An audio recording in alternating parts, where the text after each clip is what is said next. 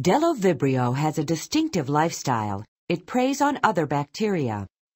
The free Bdellovibrio swims at a rapid rate until it collides violently with its prey. It then attaches and rotates rapidly, boring a hole through the cell wall of its host.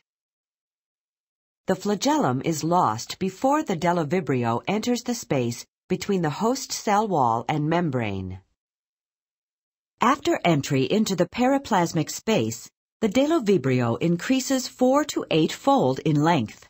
The host cell becomes rounded, forming a structure called a bdelloplast. It derives nutrients from the host cell. Following elongation, the Bdellovibrio divides simultaneously into several smaller cells.